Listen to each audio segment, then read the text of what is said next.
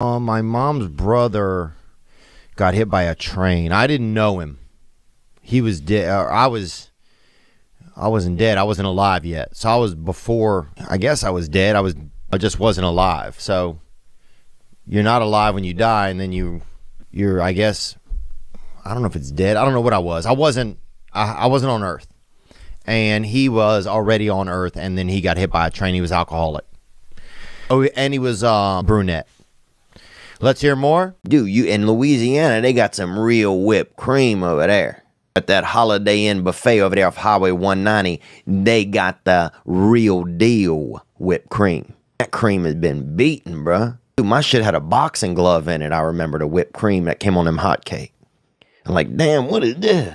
This shit was autographed by, by Buster Douglas. I was eating, and next thing you know, a couple couple brothers came out and just beat the fuck out of the, uh, out of the cream again. I was like, God damn, man, I'm trying to eat, gentlemen. They said, sorry, bud, man, we just, man, we fucking this cream up. One time, some of it snuck over to me, some of the cream, and was like, hey, man, hey, take this note, man, give, give this to somebody who, who cares. And I opened the note up, I was like, help us. Sign cream. Damn, man, they fucking beating this cream around here. Shit ain't safe out in these cream streets, boy. There's some scary dairy. Feel the holidays right up there. They're coming. You can hear the turkeys getting scared as hell, bruh. I saw a turkey the other day on Etsy buying a fucking shank. Damn, these birds, these birds know what's up.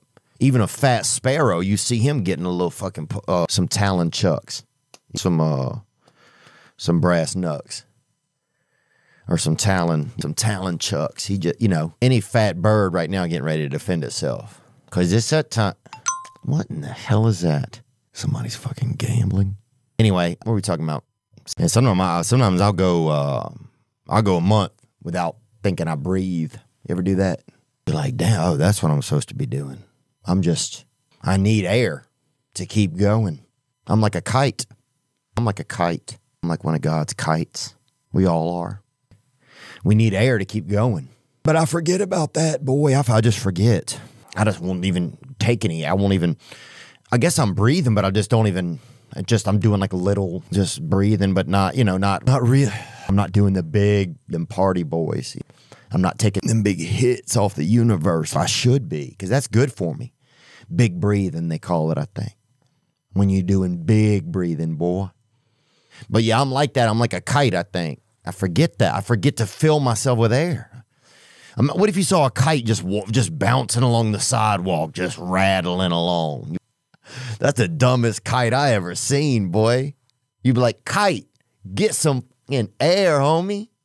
He's just like, I don't know. Can I have a cigarette? You're just like, God, that kite is a. That's why you gotta you gotta get that launch in you, baby. But yeah, anyway, breathing. And this is kind of the time of year I feel like I can finally sometimes take a breath. Sometimes I, I- sometimes I forget to breathe. Not crazy. I do it, but it's like this little back. It's like just this. It's like this background breathing that's just going along. I'm not really saying, "All right, breathing. You want to do some fucking breathing? I got you, homie." I'm not taking my lungs for a walk. I'm just putting down a pee pad and just letting them pee there. That's what I'm doing when I'm just just not fo- not. But sometimes when I go, that's when I'm really taking my lungs for a walk. Saying, "All right, I'm gonna take y'all to the lung park. I'm gonna tell you, I'm gonna throw the ball and watch you go get it." That's I think there's something about that spending time with your lungs.